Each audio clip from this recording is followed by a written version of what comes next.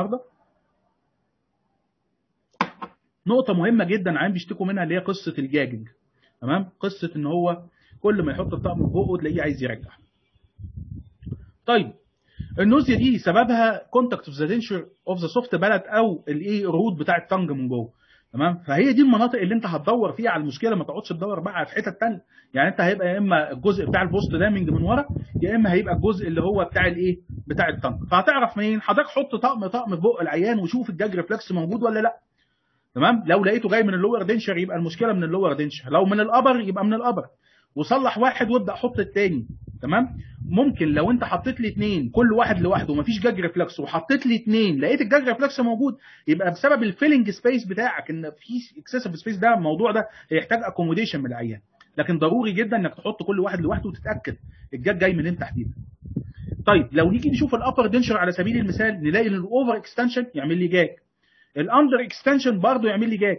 نتيجة إن الطقم بيقع وبيبقى فيه space beneath ال denture base يحصل saliva انها بتخش تعمل إيه؟ تعمل. تعمل gag reflex أكتر.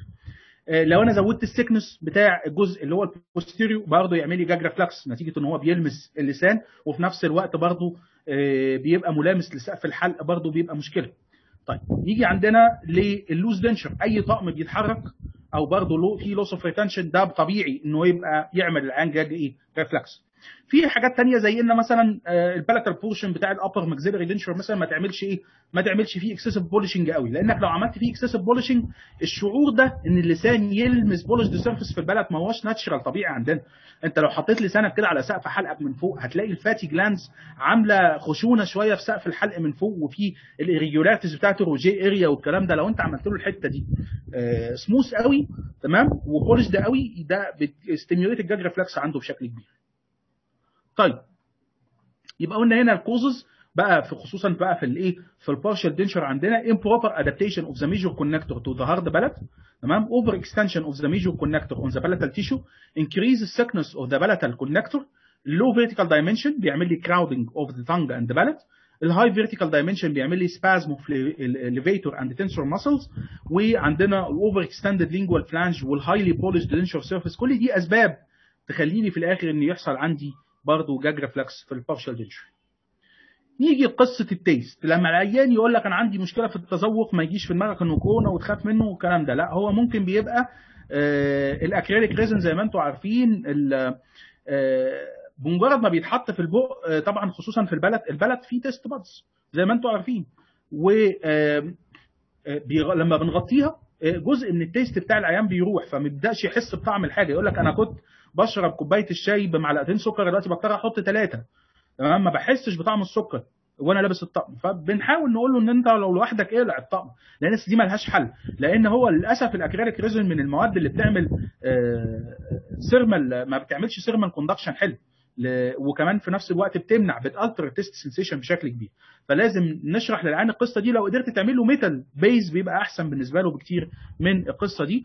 وخصوصا لو قدرت تعمل له major connector يكون مفتوح زي ال open ring مثلا على سبيل المثال. كل ما قللت ال design بتاعك وخليته more simple كل ما العيان اتبسط أكتر وحس براحة وب accommodation أكتر مع الايه مع الطقم ده. عشان كده إحنا بنقول دايما للدكاترة لو أنت قدرت تعمل للعيان over denture وتقدر تفتح ال palate بتاعك تعمل تشيل كل الجزء بتاع ال palate ده ويبقى ال retention بتاع الطقم بتاعك جاي من السنان أو من ال implants يبقى أحسن بكتير جدا. لو ما عندكش اسنان حط له implant واعمل له over denture أو اعمل له fixed restoration أنا هو راجل بتاع متحرك بقول لك لو قدرت تعمل له fixed restoration على implant ده يبقى أنت خدمته خدمة عظيمة جدا. هو هيدعي لك وكمان هيدفع لك حلو. طيب ال hidden porosity بقى ممكن يبقى فيه مشكلة في طبخ الأكريل ذات نفسه في ال processing بتاع ال acrylic resin. ده ال hidden ال hidden porosity دي بتعمل لي بكتيريال جروس ودايجنوزز بتاعنا إن إحنا بنلاقي فيه black areas with bright light كده بتبان فيه black areas موجودة. دي بيبقى colonization من البكتيريا موجودة في ال denture base وده نتيجة إن الطقم كان فيه porosity وما كانش مظبوط during ال curing ال oral hygiene طبعا زي ما إحنا قلنا العيان مش كل العيانين ومعظم المرضى بتوعنا بيبقوا جايين poor oral hygiene وإلا ما كانوش فقدوا أسنانهم دي كلها فلازم بيبقى فيه patient instruction و patient motivation و education لو أنت مش فاضي تعمل الجزء ده علم زميل ليك مساعد من الإخوة بتوع الامتياز زمايلنا اللي هم بتوع الامتياز أو ال assistant بتاعتك بره لو هي تمريض ولا حاجة مرنها إنها تعمل education لل patient أو تبقى أنت مسجل فيديو توعية حلو وتفرجوا عليه أو حاجة زي كده. طيب عندنا اللي هي مشكلة ال clattering بقى مشكلة السنان اللي بتخبط مع بعضها during الايه ال speech تمام؟